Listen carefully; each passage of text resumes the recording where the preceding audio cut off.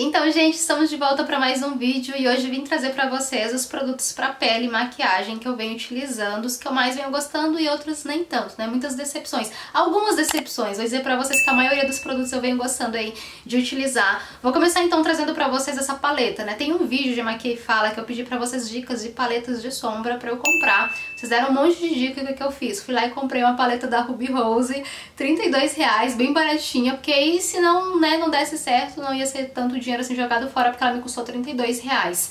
Eu não vou virar ela aqui pra mostrar pra vocês porque chegou com duas sombras quebradas, né, gente? Que pena. É, mas eu tô deixando aqui porque as sombras são lindas e foram uns 32 reais mais bem pagos da minha vida.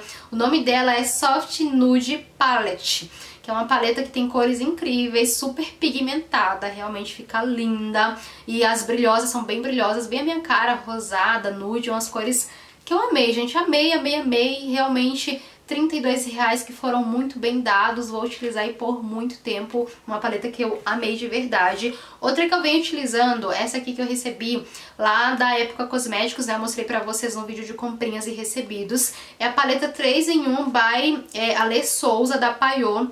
E eu venho utilizando ela também mais pra sombra, tá? Mas dá pra utilizar como blush, né? Acho que essa aqui dá pra utilizar como blush, como pó, como iluminador. E ela é linda, fica linda na pele. Não é tão pigmentada quanto a da Ruby Rose, porque eu acho que ela tem cores mesmo mais frias, mais suaves. Mas fica linda na pele, dá um glow bem bonito, bem brilhoso. Também amei, amei. Duas paletas que eu tô amando utilizar aí na minha pele. Esse mês também utilizei esses dois batons aqui. Esses aqui eu recebi da Beleza na Web, juntamente com a Maybelline, né? Que eram aqueles lançamentos lá que foram feitos, que foi feito no dia em comemoração ao Dia da Mulher, que são os batons da Frida Kahlo. Outro, os outros eu já utilizei. É, esse mês eu utilizei esses aqui, que inclusive eu gravei vídeo aqui com vocês que é, gente, o Lover e o Ruler. Ruler. Acho que é esse o nome.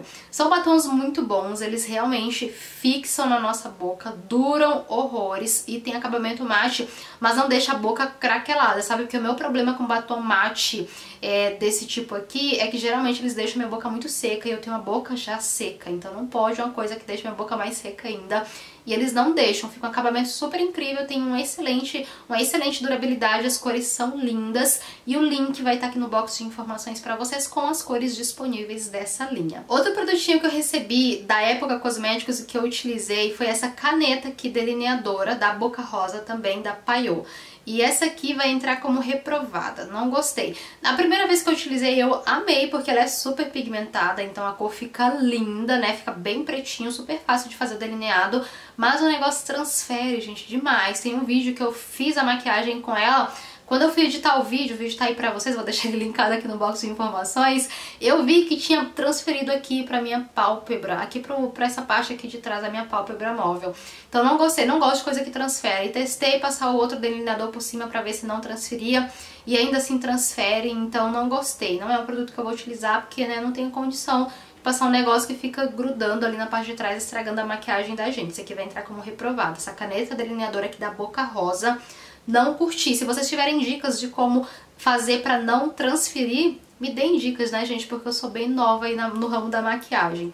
Também recebi lá da Época Cosméticos esse rímel, que ele é a prova d'água. É uma coisa que eu amei, porque eu queria muito o rímel à prova d'água. Uma vez eu fui no Snowland lá em Gramado, né, que tem neve artificial e caiu no meu olho e, gente, eu fiquei parecendo um panda. Eu só vi isso depois das fotos, que tava tudo preto aqui, porque o rímel tinha descido e tinha borrado toda a maquiagem, então gostei bastante. Não testei jogar água nele ainda, mas pra mim tá bem tranquilo, tá funcionando super bem. Quando eu estiver na chuva, né, ou for em algum lugar que vai molhar, vou ver direitinho, mas gostei bastante do resultado. Ele só não deixa bem volumoso, sabe? Ele dá aquele glowzinho, é o que eu tô utilizando hoje e é o que eu venho utilizando nos vídeos, mas não deixa tão volumoso, não tem um acabamento assim tão diferenciado, mas pelo fato de ser a prova d'água pra mim, já é um favorito aí do mês de abril, vou utilizar aí por muito tempo. Outro produtinho que eu venho trazer pra vocês e que eu venho utilizando é esse spray aqui, preparador de pele da Avon, e ele eu venho gostando, eu gosto de passar depois da maquiagem, porque ele também ajuda a fixar mais a maquiagem, e tinha um dia que eu tava com a pele bem descamando, que eu tô usando uns ácidos na pele,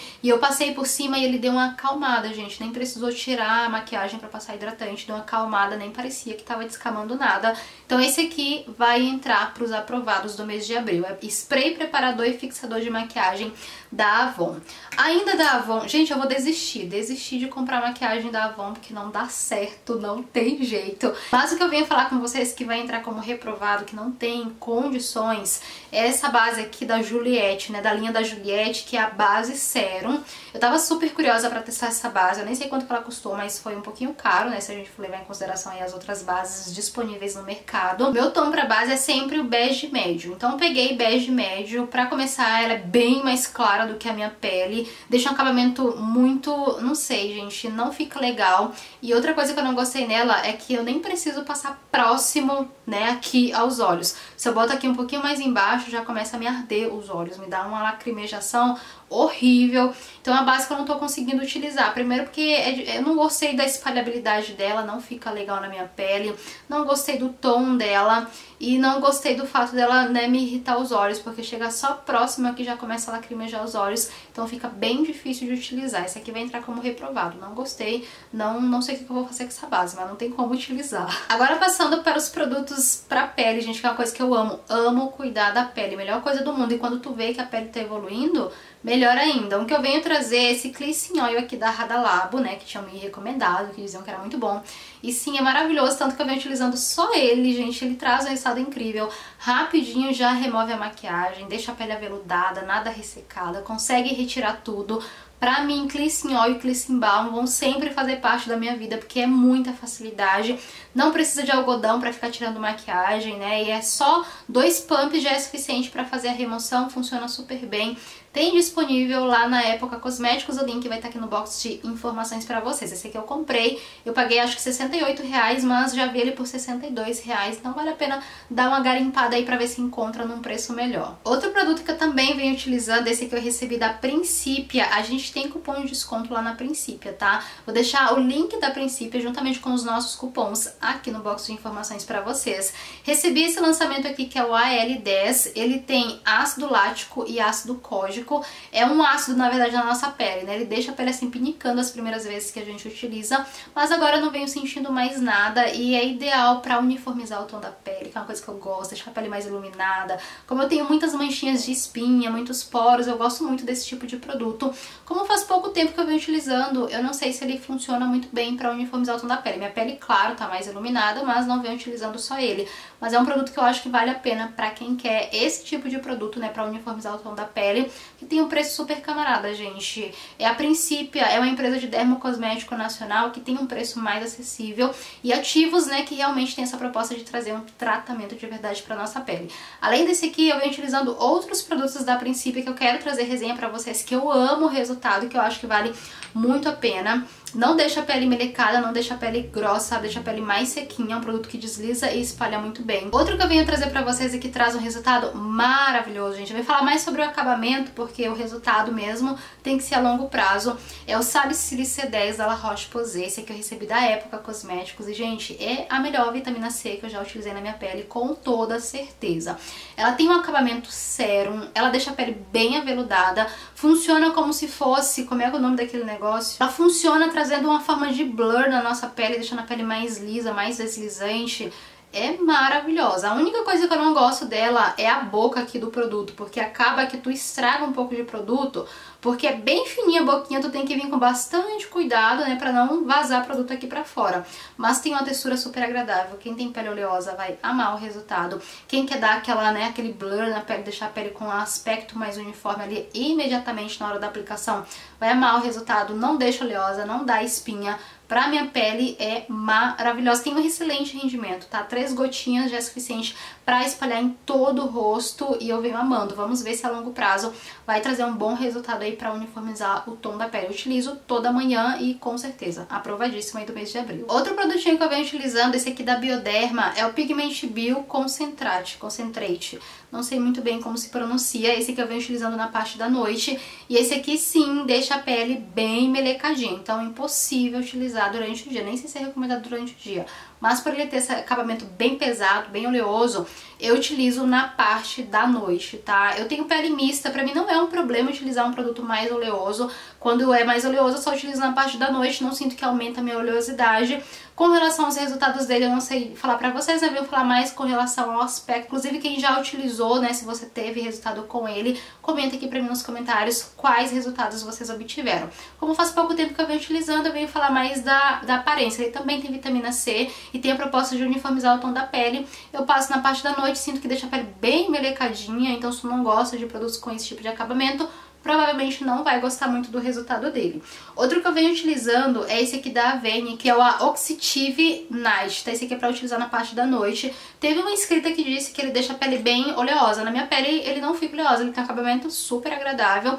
Claro que ele não deixa a pele assim bem sequinha, mas fica um oleosinho tipo nada muito exagerado. Eu utilizaria tranquilo essa textura ao longo do dia sem problema nenhum, mas esse aqui é pra utilizar na parte da noite, também desliza super bem, deixa a pele com acabamento super aveludado, tem um cheiro bem forte de vitamina C, assim como a vitamina C da La Roche, tá? Tu sente aquele cheiro de ferro realmente, mas é bem tranquilo de utilizar. Na minha pele eu não sinto oleosidade. Também utilizei o hidratante da Neutrogena, que é o Hydro Boost. Tá? Esse aqui é o hidratante mais levinho, né? Ele tem 17% de ácido hialurônico na sua composição. É um hidratante que eu recomendo para quem não tem pele muito ressecada, porque ele não vai conseguir trazer um resultado potente para tua pele, pelo menos não venho sentindo de acordo com as primeiras aplicações. Traz um resultado de hidratação mais leve, excelente para utilizar ao longo do dia, porque ele tem um acabamento bem leve, bem sequinho na pele, não deixando oleosa. Então acho que pra, né, pra quem quer essa hidratação mais leve ao longo do dia, que é um tipo de hidratação que eu gosto de utilizar na minha pele durante o dia, vale a pena o investimento. À noite que eu foco em hidratações mais pesadas, né, pra amanhecer com a pele no outro dia radiante. Também utilizei esse sérum aqui, Effaclar. Esse aqui é anti-acne, anti-marcas de acne e traz um efeito peeling. Não sinto que formiga a pele, não sinto, né, que traz um resultado abrasivo na pele. Tem um acabamento sequinho na medida, não é muito oleoso, mas também não é extremamente sequinho. Quando tu termina de aplicar, tu sente, né, que a pele tá um pouquinho preguentinha, mas some rapidinho. É para ser utilizado também durante a noite. E eu venho gostando do resultado, quero utilizar mais vezes para ver se vai ajudar aí a diminuir as minhas marcas de espinha, né? Porque quando eu era adolescente, eu tinha pele que parecia uma lixa de tanta espinha que tinha. E também, né, utilizei o Lift Repair da Estederm. Gente, esse aqui é o produto mais luxuoso que eu acho que eu já utilizei nos meus olhos. E vem trazendo um resultado muito bom. Deixa, eu tenho o meu problema com olheiras é mesmo por falta, né, por pouco sono, porque eu durmo pouco. Então eu sempre gosto de investir em produtos que hidratam muito a pele ao longo da noite para no dia seguinte eu não amanhecer tão acabada. E é um produto que vem trazendo um excelente resultado, né? Eu acho que preciso utilizar mais vezes para ver o resultado a longo prazo, mas o acabamento é maravilhoso. Ele tem um aplicador bem geladinho, bem bom de fazer massagem ali nos olhos, fica bem hidratado, porque mesmo utilizando os ácidos, né, na minha pele, que deixa a pele um pouco mais ressecada, principalmente os ácidos que são próprios aqui para utilizar na área dos olhos, que é uma área mais sensível, ela hidrata, né? Ele hidrata super bem, não fica nem um pouco dolorido, nem um pouco ressecado. Então acho que é excelente também para ser utilizado com ácido voltado aí para a área dos olhos. E por enquanto é isso, né, gente? Esses foram os produtos para pele que eu testei esse mês, os que eu mais e menos gostei de utilizar. E aí comenta aqui pra mim se você já utilizou algum desses produtos e quais resultados eles trazem aí pra pele de vocês. Esse então é o vídeo, um super beijo e até a próxima!